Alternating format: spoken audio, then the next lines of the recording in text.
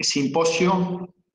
que se realizó de manera virtual sincrónica con alguna presencialidad, estas formas nuevas de llevar adelante las propuestas de formación, intercambio y capacitación. Simposio que estuvo eh, co-construido entre el INTA, Centro Regional Córdoba, y dos ministerios, del Ministerio de Agricultura y Ganadería de la provincia de Córdoba, del Ministerio de Ciencia y Tecnología de la provincia de Córdoba, y que nos deja verdaderamente muy satisfechos 44 disertantes, 30 nacionales, 14 extranjeros, 9 sesiones. Y va mi agradecimiento a todo el equipo del Centro Regional Córdoba, liderado por Daniel Basigalú, y nuestros mejoradores de los grupos de soja y trigo de Marco Juárez,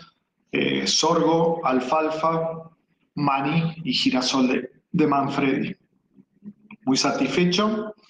eh, porque tuvimos una respuesta de parte de lo que es el sector privado del mejoramiento vegetal y de lo que es la parte de las instituciones que están vinculadas al mejoramiento vegetal, a la biotecnología y todo lo que es la provisión de, materiales genéticos